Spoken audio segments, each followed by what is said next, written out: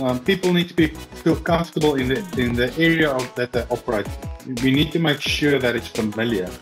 Um, it boils down to language, right? So communicate, having the ability to communicate to a person in the language that they understand.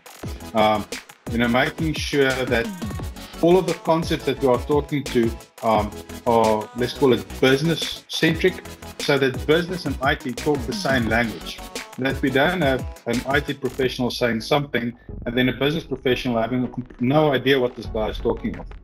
Um, as well as, you know, simply theming and, and, and a, platform um, into your into, into comfortable colors because all of these colors themes have got a subtle role that is uh, impact on that person that's interacting with that system at that point in time.